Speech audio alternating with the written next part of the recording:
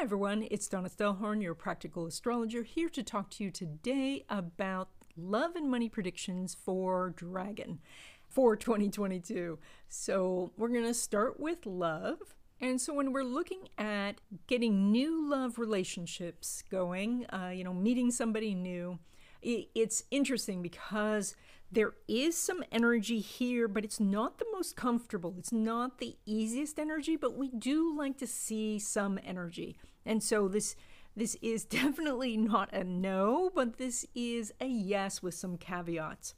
And that is that it shows either you are stepping outside of your comfort zone in some way to meet this person, or that you are meeting someone who's not your typical type that that you're having to get past something that would have caused you to hesitate in the past. And maybe that is that they are at a long distance.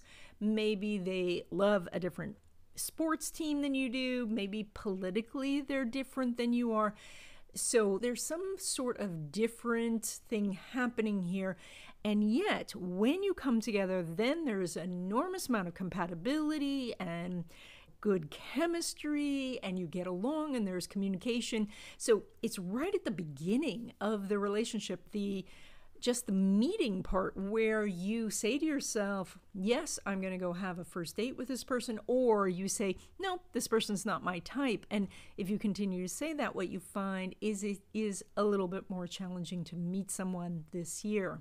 Now, the story is completely different when we look at existing love relationship. Now we have some extremely strong energy that says that the two of you are either coming together as a solid unit, agreeing on things, going the same direction, making changes in your life in unison, like like how a flock of birds all flies together, that, that it's almost unconscious that you are so connected.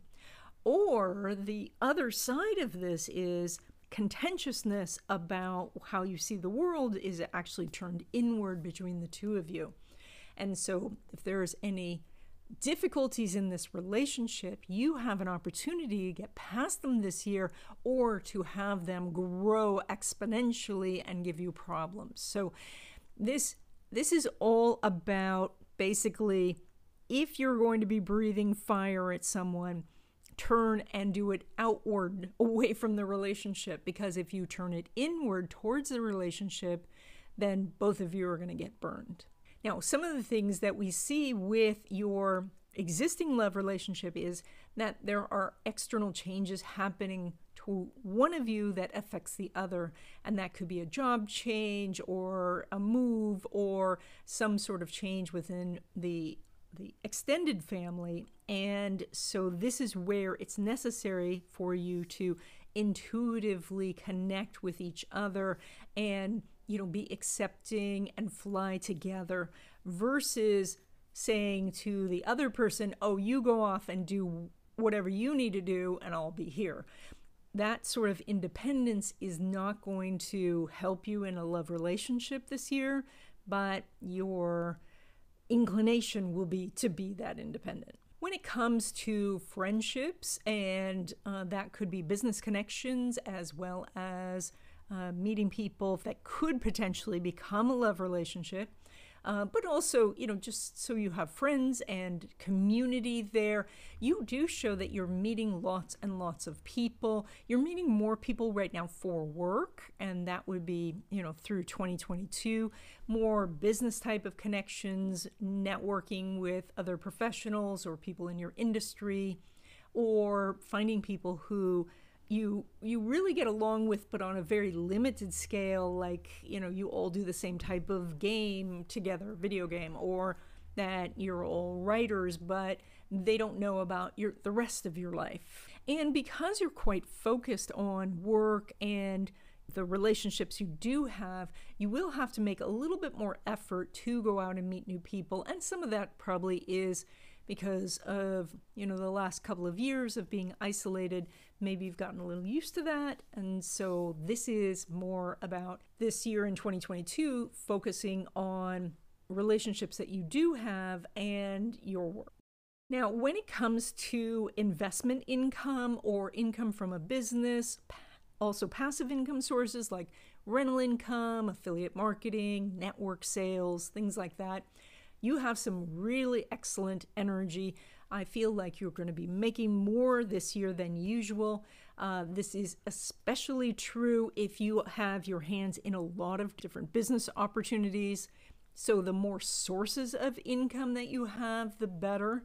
Now, this energy says that you do need to take a step forward on everything. You need to initiate it, and that is you can't just sit on your laurels and wait for money to come in. But if you make the phone call, you get the sale. If if you you know check out the the security or the stock, uh, you find the thing to buy. So it's it's always where you initiate, and then some really good things happen. And then when it comes to money from your job, so like a paycheck. Um, it's interesting because you may have been promised in 2021 to get more money and they couldn't follow through on that. So then, whatever was promised you in the previous year now can come through. So that's a really good thing. Now, it does look like you might be returning to work for a boss you worked for before or a company you worked for before, but you would be going back for more money. Now, if you are moving on to a new job, it looks like you're doing something quite similar to what you've done before. Again, with a bump up in the money. So, but everything here, like getting more money this year, means you're going to have to ask more than once. There will be some delays, and so we see this more possible in the second half of the year than in the first half of the year. And that's it. I hope you enjoyed this video. If you did, check out my other videos on YouTube.